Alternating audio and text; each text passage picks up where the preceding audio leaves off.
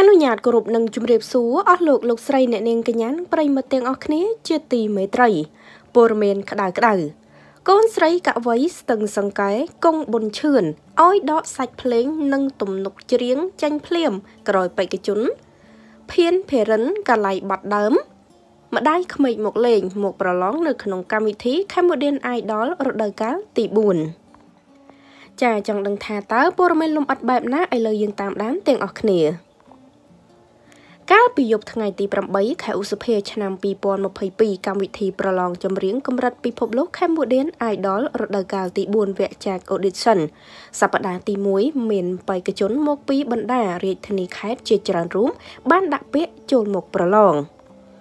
នៅចំពោះមុខគណៈកម្មការដើម្បីคลายខ្លួនជាតារាចម្រៀងអាជីពនៅក្នុងផលិតកម្មរស្មីហងមាសនិងជាម្ចាស់ជ័យលាភីទទួលបានប្រាក់រង្វាន់100លានរៀល។ ក្នុងនោះមានបេក្ខជនម្នាក់មានឈ្មោះថា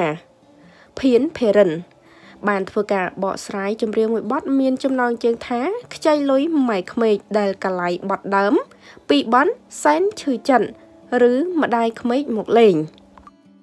របស់លោកយាយរុស្រីសុធាដែលជាស្នាដៃកវីដងស្ទឹងសង្កែគង់ប៊ុនឈឿនមកប្រឡងក្រោយពេលចាក់ផ្សាយកម្មវិធីនេះចំថ្មីថ្មីនេះ កូនស្រីកវីស្ទឹងសង្កែគង់ប៊ុនឈឿនបានចេញមុខប្រតិកម្មថាយើងខ្ញុំជាក្រុមគ្រួសារសូមសំណូមពរម្ដងហើយម្ដងទៀតបាញ់ឈុំការយកស្នាដៃមរតកដើមយកមកច្រៀងបំពេញបំផ្លាញសិទ្ធស្នាដៃកវីស្ទឹងសង្កែគង់ប៊ុនឈឿនបនសែនឈឺចិត្តឬម្ដាយក្មេកមកលេង របស់លោកយាយរុស្រីសុធា ច្រៀងមានដាក់ក្នុងប្រឡោមលោក ពិតរបស់ម្ដាយខ្ញុំយកមកក្រឡៃដាក់ពាក្យថ្មីខ្ចីលុយម៉ែក្មេងអ្នកដែលយកបន់មកក្រឡៃរហូតគឺមាន អ្នកមិនដឹងយកមកប្រឡង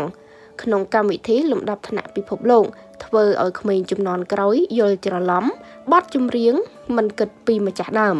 សូមឆាប់ដកសាច់ភ្លេង ទំនុកច្រៀងចាញ់មិនអនុញ្ញាតទេ បើពុំនោះទេ ត្រូវប្រឈមនឹងច្បាប់កម្មសិទ្ធិបញ្ញាសូមបញ្ជាក់ថាពួកខ្ញុំគ្រប់គ្រងស្នាដៃកូនខ្មែរយើងបង្កើតថ្មី តែមិនក្រឡៃបត់ម្ចាស់ដើមកន្លងមកដោយរឿងនាយជើមយកបត់នឹកភូមិភ្នំធំមកក្រឡៃធ្វើឲ្យក្រុមគ្រួសារខ្ញុំចេញមុខតវ៉ាកាលនោះមានមនុស្សជាច្រើនគិតថាម្ដាយខ្ញុំបានប្តឹង បានលុយបានអីហើយដើររករឿងគេគ្រាន់តែយកបទចម្រៀងមកច្រៀងថ្មីសោះ តាមការពិតក្រុមគ្រួសារខ្ញុំមិនដែលប្តឹងអ្នកណាឬបានសំណងពីនរណាម្នាក់ទេតើខុសទេដែលម្ចាស់ដើមទៀមទារក្សាបទកម្មសិទ្ធិបទចម្រៀងរបស់ខ្លួន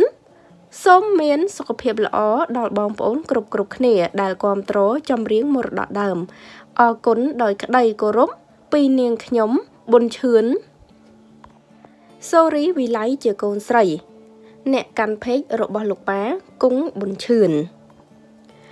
ចានេះគឺជាព័ត៌មានកំពុងតែក្តៅកគុកបន្ទាប់ពីបេក្ខជនមានឈ្មោះថាភៀនភេរិន បានបកស្រាយបទចម្រៀងមួយបទមានចំណងជើងថាខ្ចីលុយម៉ែក្មេកដែលបទចម្រៀងមួយបទនេះគឺកាឡៃពីបទមរតកដើម ដែលមានចំណងជើងថាសែនឈឺចិនឬម្ដាយក្មេកមកលេង ដែលជាការនិពន្ធរបស់កវីដងស្ទឹងសង្កែគង់ប៊ុនឈឿន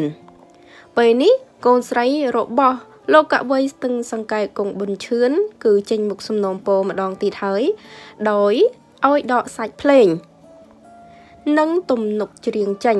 ដោយក្រុមគ្រួសាររបស់អ្នកនាង គឺមិនអនុញ្ញាតនោះទេ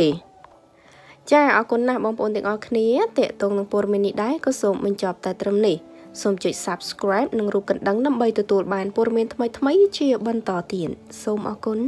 សូមគោរពលា